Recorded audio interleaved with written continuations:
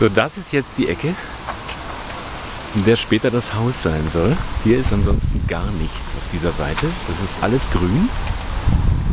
Und die andere Seite besteht, wie du es jetzt vielleicht schon gesehen hast, aus diesen zweistöckigen, ich weiß nicht, Mehrfamilienhäusern, das glaube ich. Vorne gibt es eine Bio-Eisdiele und das war's. Hier ist jetzt gar nichts. Vorne ist eine Bushaltestelle.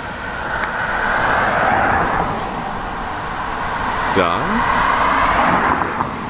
Ne, irgendwo muss ich sie jetzt haben. Da ist sie genau. So, jetzt gehen wir nochmal hier rüber.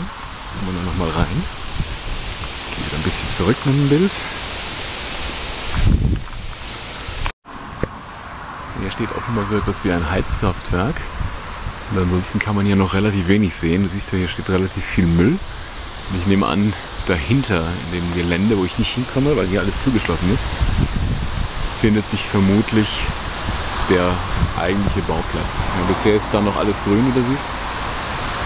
Ein bisschen geräumt ist da hinten auch schon. Aber ansonsten ist hier noch gar nicht zu erkennen, dass man irgend überhaupt hier bauen möchte. Und wie gesagt, ansonsten alles grün, grün, grün. Rocken tut hier nichts, würde ich sagen. Also es ist, glaube ich, auch relativ ruhig. Ich meine, jetzt ist Samstag, die Straße hat natürlich nicht so viele Aussagekraft. Aber hier führt eigentlich gar nichts lang. Da kommt jetzt der Bus.